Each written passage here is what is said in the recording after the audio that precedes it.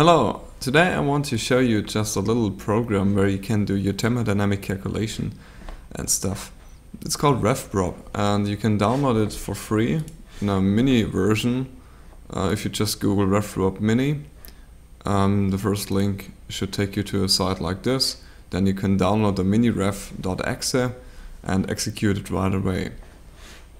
It will launch a program like this and uh, in this video I will show you the basic functionality of the program that you are able to do your own calculation with it. So as I said it is a thermodynamic program.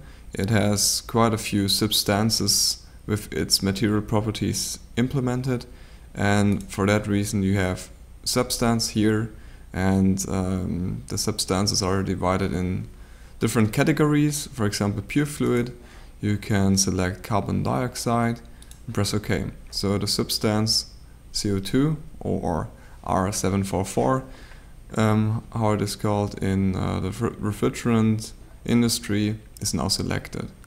Next thing what you want to do is you want to change the units to your preferences.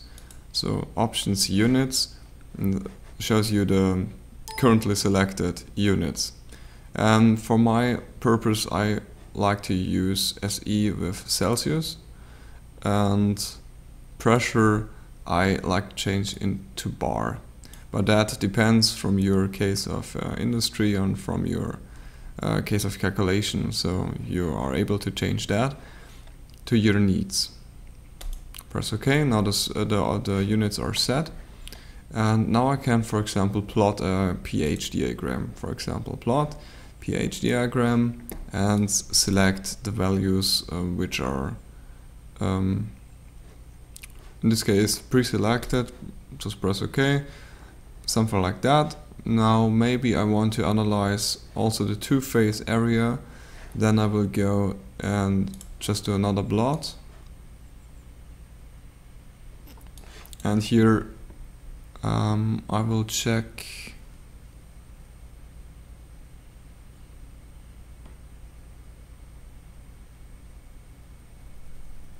Dromel, no, uh, connect saturation states, I think.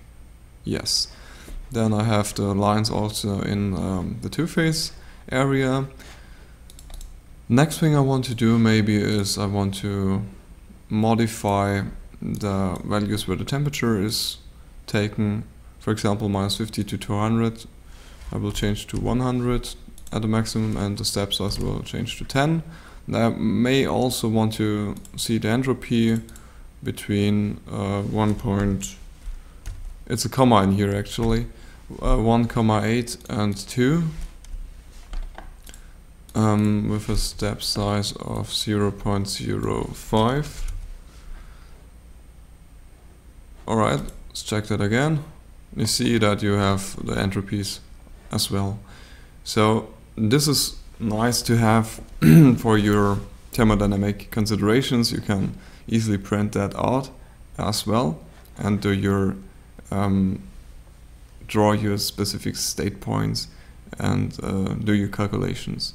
Now, as you see that you could read the values from the enthalpy and the pressure right here, but that's not enough.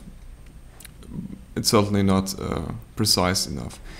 Uh, for that reason, you have also here a calculate uh, option where you can do your saturation tables um, calculation, for example. You have a uh, vapor liquid saturation. Maybe you want to vary the pressure and just press OK. Now you have your initial pressure in bars. Maybe I want to go from 10 bars to 30 bars. So I have 20, 10 and 30 increment 1, it's a bit coarse, maybe we do 0 0.1, comma actually, and press OK. And then you have a saturation table.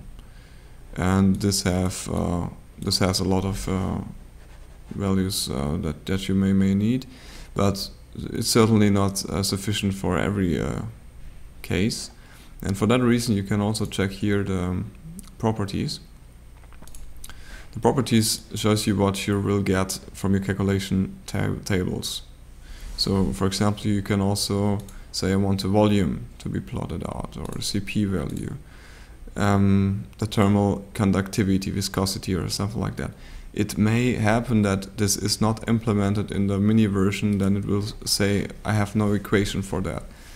But um, for the most things, you will get equations or values.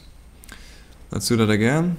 Um, in this case, we will do uh, specific state points or saturation points at equilibrium. Here we can um, both give a temperature and pressure value and then get the others. For example, I, I hit here minus 2 degrees and it automatically uh, calculates where the pressure is at the saturation point. So minus 2 degrees would be like here and the pressure would be like here and you see 34 um 33 bars meets that roughly. Okay and now you see all the the other um, values I added here. And so you can uh, go on insert your values mark that and copy that paste it in Excel for example and do a whole um, bunch of stuff in here. So it's a nice little program which um, is free I recommend using it for your thermodynamic calculation, and that's uh, sort of tip of the day. Uh, good luck with that, and thanks for watching.